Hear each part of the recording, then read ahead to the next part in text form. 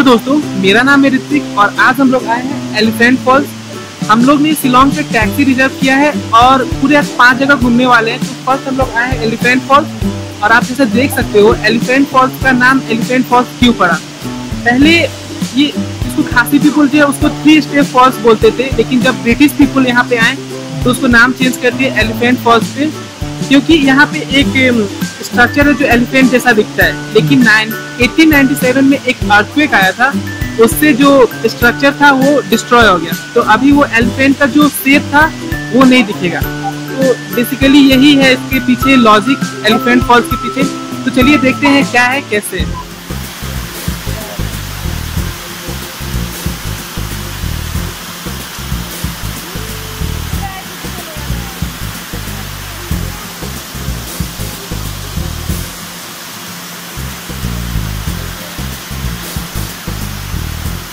मेरे साथ है रितेश। हेलो रत्नेश्वर और शुभम और सहनवाल। तो बाय द वे अभी हम लोग आए हैं। ये देख लीजिए यहाँ पे बोर्ड है।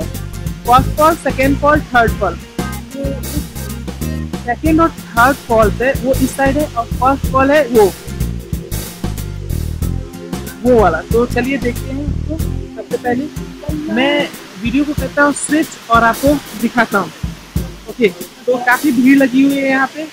फोटोग्राफी वगैरह भी चल रहा है। आप देख लीजिए, ये रहा हमारा फ़र्स्ट फॉल तो थोड़ा सामने से देखते हैं इसको। तो ये रहा हमारा फ़र्स्ट फॉल वहाँ से ये बाय वे आपको आवाज़ शायद क्लियर नहीं आ रही होगी, क्योंकि यहाँ पे बहुत ज़्यादा साउंड है और माइक मोबाइल का कैमरा ही है।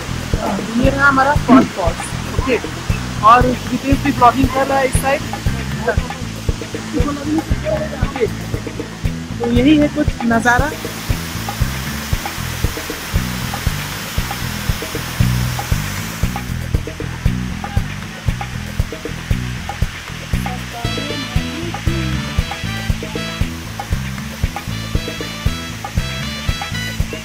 मेन जो एलिफेंट फॉल है, वो नीचे है।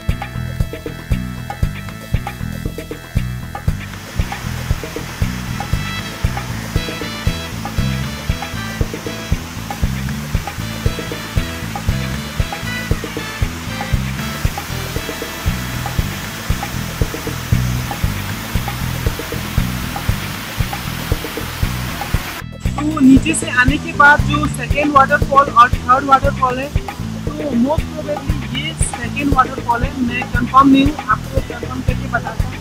तो कुछ लोग ऐसा है, और जो मेन थर्ड वाटरफॉल है, जिसे हम लोग एलिफेंट फॉल बोलते हैं, या फिर थ्री स्टेप फॉल तो वो रहा ये। हाँ तो नीचे जाते हैं और देखते हैं। ओके तो यही है। शिलोंग में यही सब घूमने को मिलेगा। इसके बाद और चार प्लेसेस जाने वाला हूँ। सबका अलग अलग ब्लॉग में मैं बताऊँगा। होगा तो चलेगा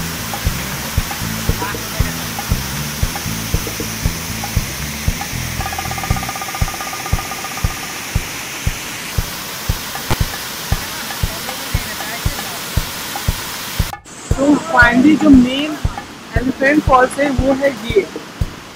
देखिए इसको थ्री स्टेप वाटरफॉल इसलिए बोला जाता है थ्री स्टेप्स में वाटर आ रही है। फ़र्स्ट सेकेंड थर्ड और एलिफेंट का तो चला गया।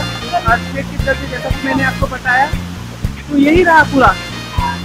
एलिफेंट फॉल्स शिलोंग का मोस्ट फ़ेमस फॉल्स मतलब आप अगर शिलोंग में आते हो तो ये देखना तो मस्त है।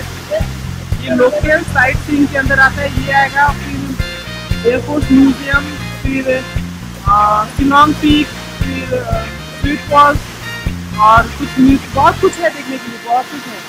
और एक छोटा सा फॉल्स मैं आपको दिखाता हूँ। ये शायद आपको कोई दिखाया नहीं होगा। मैं दिखाता हूँ आपको। इधर में बाहर को उठाने की कोशिश हो रही है। और बाय द वे अगर आप एलिफेंट फॉल्स आए हो और आप उस साइड अगर जाना चाहते हो, उस साइड एम्यूजमेंट पार्क था। आप उधर से आने समय पार्क दिखाई देगा। एग्जैक्टली नाम मुझे याद नहीं आ रहा है।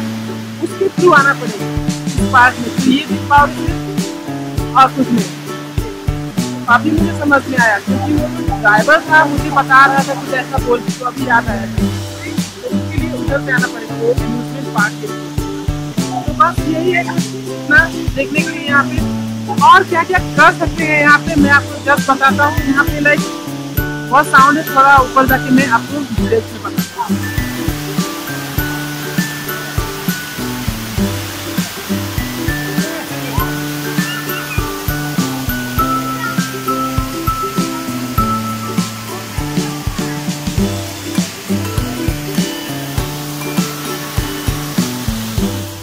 अगर आप एलिफेंट फॉल्स आते हो तो यहाँ में करने के लिए क्या क्या है? फ़र्स्ट तो आप एलिफेंट फॉल्स दे सकते हो, जो तीन फॉल्स है, और यहाँ में आप ड्रेस लगा सकते हो ट्रेडिशनल खासी ड्रेस फिफ्टी रुपीज़ देना होगा देना होगा आपको, और कुछ ऐसा ड्रेस मिलेगा, आप देख लीजिए फिफ्टी रुपीज़ में, और फोटोशूट कर सकते हैं। तो बस इतना ही है यहाँ पे करने के लिए तो ज़्यादा नहीं है। और एक चीज़ entry fee per head twenty rupees और पार्किंग फ़ी ट्वेंटी रुपीज़ और मोबाइल के लिए एक्स्ट्रा ट्वेंटी रुपीज़ समझ गए? तो यही है फ़ीस कुछ। और यहाँ में कुछ करने के लिए यही है कि अगर आपको कुछ खरीदना वगैरह है तो यहाँ से कुछ खरीद सकते हैं। और इधर भी है कुछ खरीदने के लिए।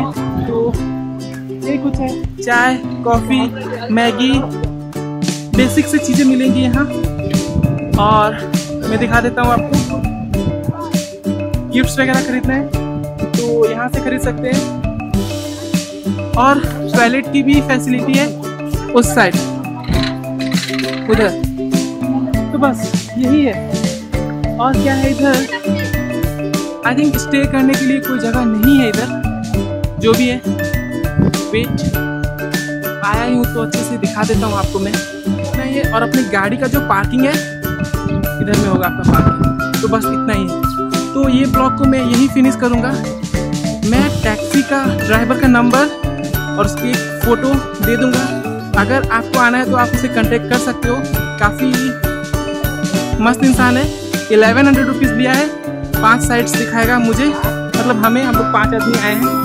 तो इट्स गुड बस तो ये ब्लॉग को मैं करता हूँ यहीं पर फिनिश उम्मीद करता हूँ आपको ये वीडियो पसंद आई होगी। अगर पसंद आती है तो लाइक वरना डिसलाइक और फीडबैक बता दीजिएगा। क्यों? ताकि नेक्स्ट टाइम से मैं उसे इम्प्रूव कर पाऊँ। ओके तो मिलते हैं आपसे नेक्स्ट वीडियो में। बाय द वे आज डेट है ट्वेंटी सेवन ऑफ़ जून 2018 तो मिलते हैं आपसे नेक्स्ट डेस्टिनेशन